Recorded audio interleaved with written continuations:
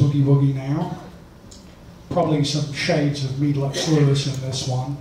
I tend to like his, uh, his faster style. All right, let's see what happens. Hopefully good things. If not, sue me.